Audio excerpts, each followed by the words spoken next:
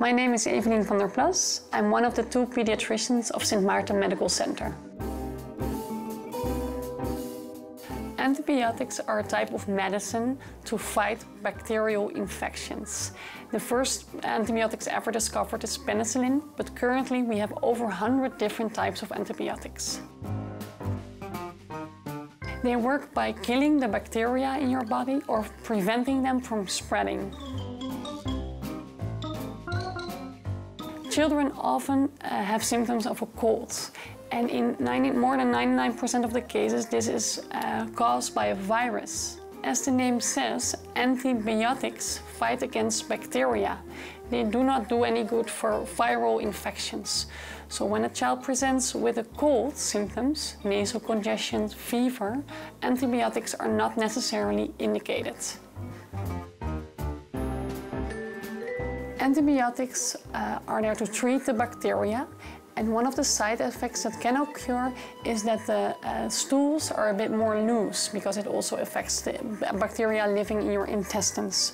But this is only a temporary effect. When you finish the course of antibiotics, it will resolve.